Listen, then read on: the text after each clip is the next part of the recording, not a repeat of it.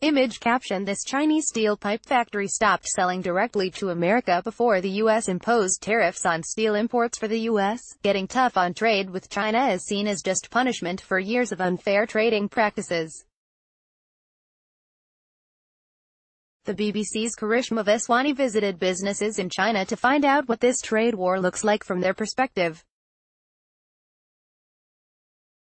From Monday, U.S. tariffs of 10% on $200 billion, £152.9 billion pounds worth of Chinese goods come into effect on almost 6,000 products, ranging from handbags to textiles.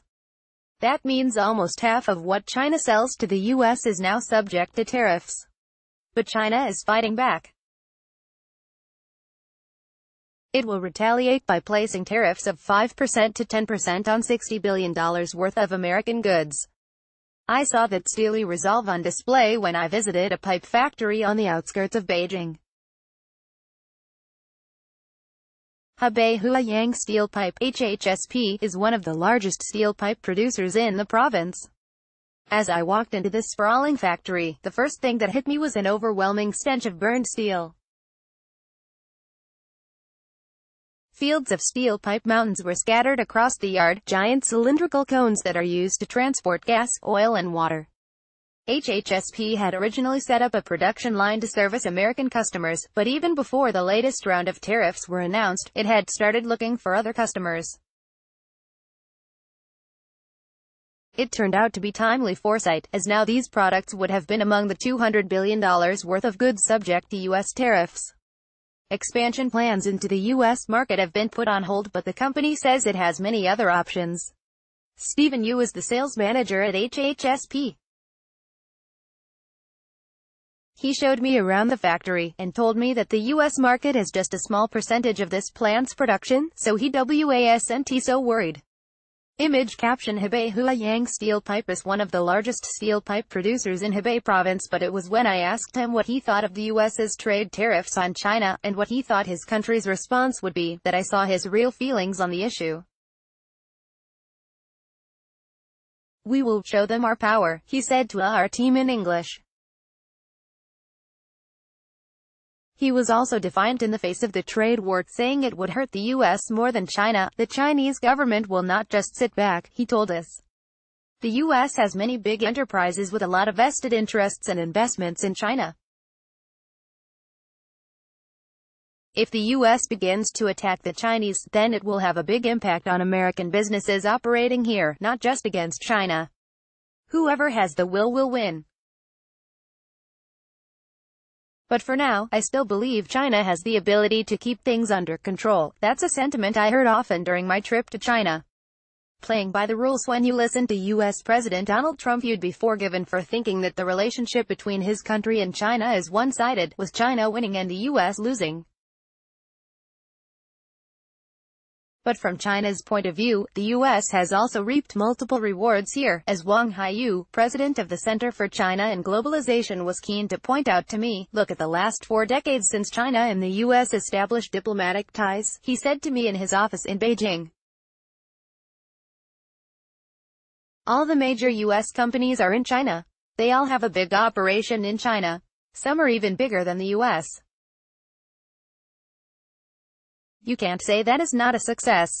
Boeing sells more airplanes in China than anywhere else in the world. And Walmart produces more goods from China than any other company in the world.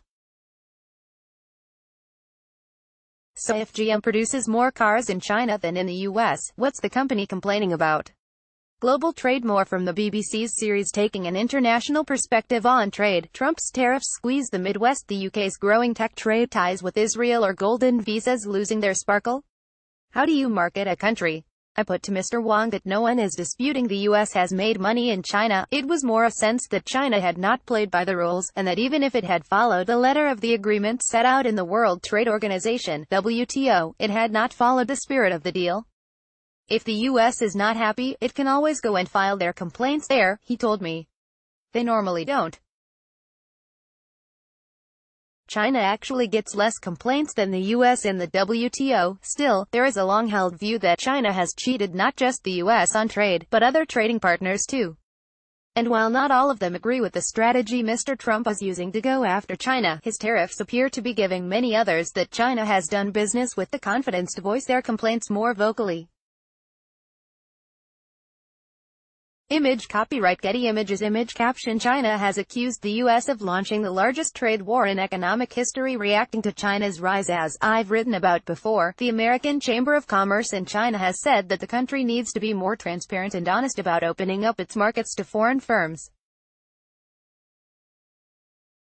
The European Chamber of Commerce in China in its annual report chimed in, saying that China is stuck in a reform deficit and that the root cause of the U.S.-China trade war is China's incomplete market opening.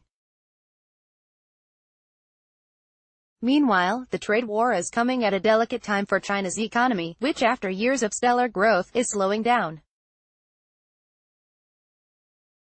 We visited the Communications University of China in Beijing, and spoke to a number of students there was struck by how some were worried about job prospects in the face of this trade war, but also that it was leading to a rising sense of national pride amongst others. One male student told me, China has risen quickly over the past few decades, and has captured the world's attention. That's why the U.S. has such a strong desire to suppress us. But China has also given a strong response to the U.S. See, I believe my country has the ability to withstand this, the sense that the U.S. is jealous of China's rise, and as using the trade war as a way to contain China is an increasingly prevalent view amongst some in the country, as the hardline Global Times, in a recent editorial, outlined. Some elites in the U.S. believe that China has stolen U.S. experience for its own modernization, infringing so-called U.S. intellectual property rights, the editorial said. Washington is extremely puffed up with pride politically and culturally. It is also severely misunderstanding the history of human development. This is a new, confident China, a country that wants to show off its economic success. Despite the criticism, this is a success it feels it has worked hard for, and will not surrender easily. But this trade war has many here feeling that the U.S. wants to halt China's rise, and China is preparing for a long battle ahead.